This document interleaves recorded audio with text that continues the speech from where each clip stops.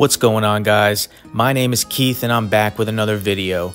Today I'm going to be talking about the collaboration between Kith and New Balance on the 580.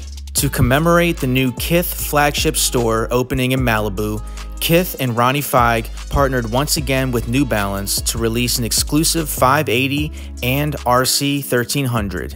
The official style code of these is MT580KB. This sophisticated color palette is inspired by the natural hues of Malibu, incorporating soft, sandy beige and gray tones with subtle peachy tan accents. The beige and gray represents the sandy beaches, while the peachy tan accents evoke the stunning sunsets that Malibu is renowned for. Even though these are not made in USA or made in UK, the materials are actually very nice and premium. The underlays are made from a canvas material which feels very durable. The overlays are done in a rich suede that adds depth and texture to the sneaker. My favorite parts of the sneaker has to be the peachy tan leather accents which can be seen on the N logos, the tongue, and the top of the heel. This detail really adds a premium feel to them. They only come with one lace option which is this sail color lace, but honestly I think this is the best option for this sneaker. This pair is obviously great for the summer months, but I think they're going to look really good in the fall as well. When it comes to sizing, comfort, and fit of the New Balance 580, I personally went with a half size bigger than my Made in USA New Balance size. So, for example, in Made in USA New Balances, I wear a size 9.5 in these, I went with a size 10, which is also what I wear in 2002Rs, 1906Rs, 574s, and most of the Made in UK line.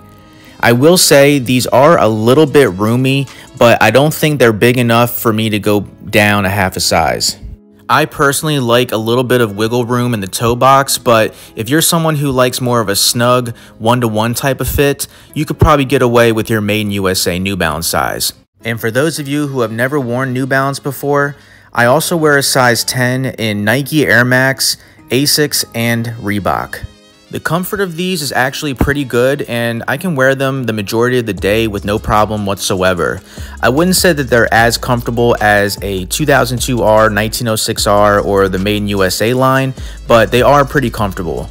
So yeah, overall, I'm very happy with this pair and I'm glad that I was able to add them to my collection. What do you guys think though?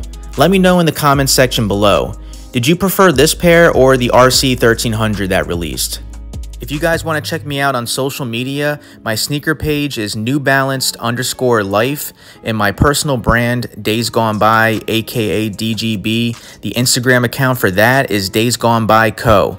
Most of the clothing that I wear in my videos are from my brand. Also, if you haven't already done so, consider subscribing to the channel. I'm getting super close to that 1000 subscriber milestone and I couldn't do it without your guys' support. Thank you so much for watching and I'll see you in my next video.